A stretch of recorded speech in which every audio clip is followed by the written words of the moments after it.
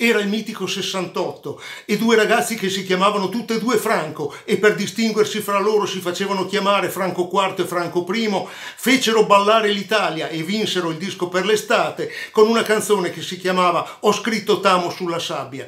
Alla Cremo, per far cantare e ballare la sua gente, di Franco ne è bastato uno, un Franco che di cognome fa Vasquez e di mestiere fa il grande giocatore.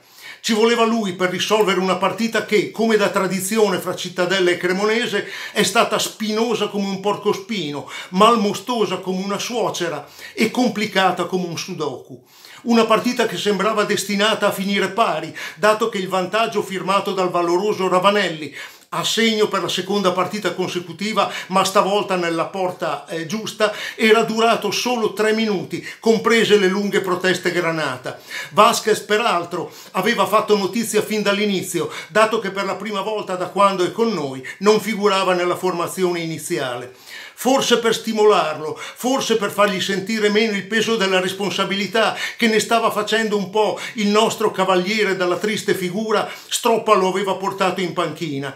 Ma quando dopo un'oretta di tanta guerriglia e poco gioco lo ha mandato in campo, si è visto subito che era di luna buona e quando Quagliata finalmente ha azzeccato un cross perfetto, Franco ha fatto quello che sa fare, diventare l'ombre del partito, l'uomo che decide la partita. Quasi quasi spiace un po' per il Citta, che come spesso le capita quando l'andiamo a trovare, alla fine si è vista sparire l'argenteria. Sei anni fa Cavion fece vincere al 96esimo una Cremo ridotta in 9. Stavolta Vasquez ha colpito tre minuti dopo il novantesimo. Viene in mente un'altra canzone, il grande Cyrano di Guccini, perché quando è di scena al tombolato la Cremo assomiglia proprio a Cyrano de Bergerac. È bruttina, sembra destinata a reggere il moccolo alla concorrenza, ma alla fin della licenza tocca.